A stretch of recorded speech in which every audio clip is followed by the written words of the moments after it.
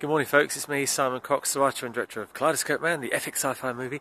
Um, I wonder if I can ask a small favour. Um, we're about to launch a campaign um, to raise a bit more money for um, for the movie, which will hopefully be the last campaign we do for this.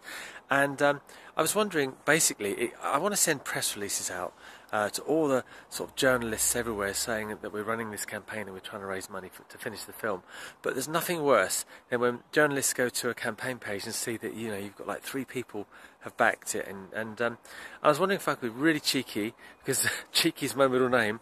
Um, when the campaign comes out, if you're interested in supporting it, whether you could support it very early on, and I don't mean massive, massive amounts of money. I'm talking a couple of quid, two, three, four, five quid would be absolutely fine because it's about the numbers. If we can say, hey, you know, 50 people have backed this, uh, it looks so much better than no people. But anyway, really cheeky. I do apologise. Thank you for your support and everything. I love you all, and uh, I'll see you soon. But we're going to launch it on Saturday morning, or maybe Friday night, probably Saturday morning. Then. All right. See you soon. Have a good day. Thanks. Bye.